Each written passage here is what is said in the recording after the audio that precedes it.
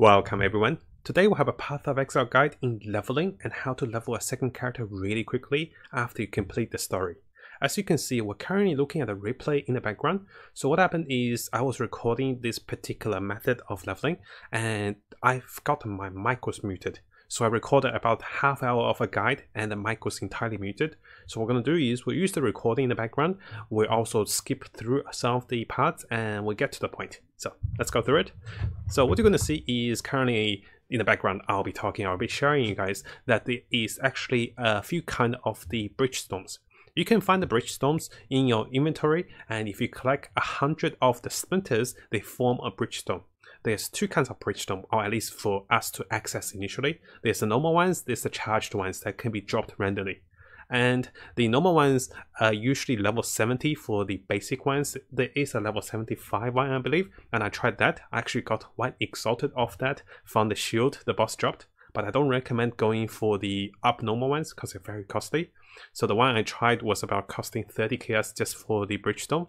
What I recommend is Xoph's Chargestone and Xoph's normal Breachstone. The Xoph's Breachstones is a level 70 map that you can run and you can start that when you're level 60 right after you finish the story. So you might have a bit of trouble right at the start on starting that, but what's going to happen is you could get a friend who is, you know, level 80 will do level, you know, who is high enough level to just do the level 70 maps with you and those will help you level so much faster.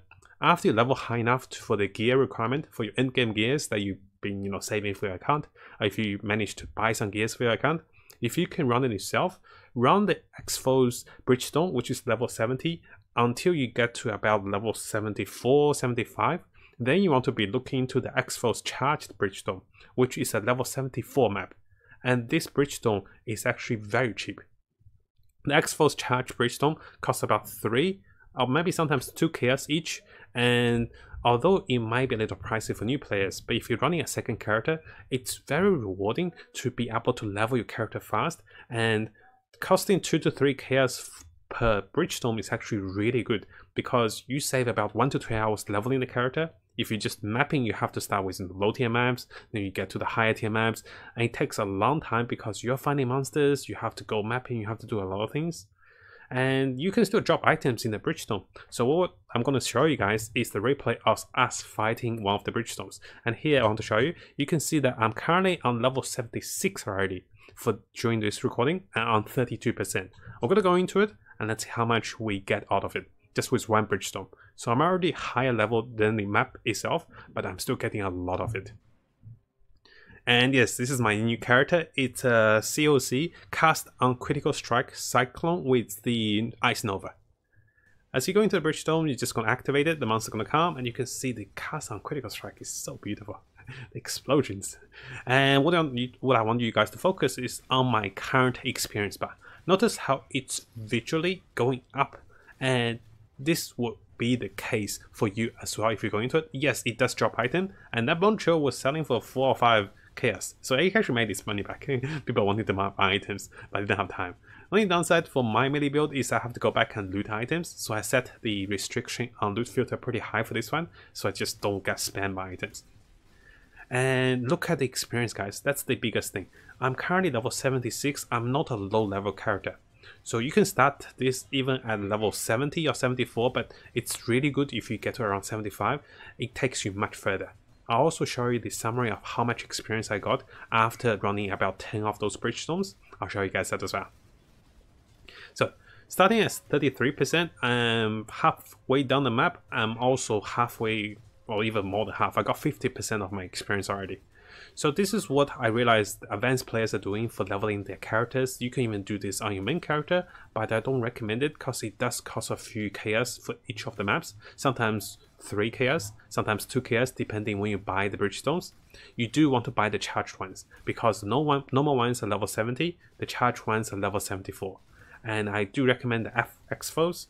The item drops uh, may be the biggest difference. The experience is pretty much the same, so I don't recommend buying the big the bigger ones or the other ones which are more expensive.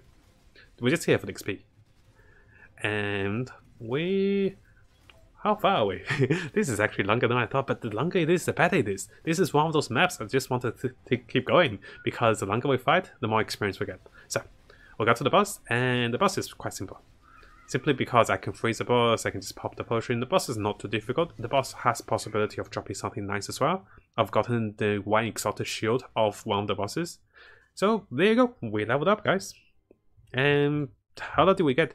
We took about three minutes and it's pretty much three minutes for about 80% experience. And I was doing this repetitively with all the breach breachstones. So to summarize, I did about 13 of those breach breachstones. So I bought someone after. I got to level 86 within one hour.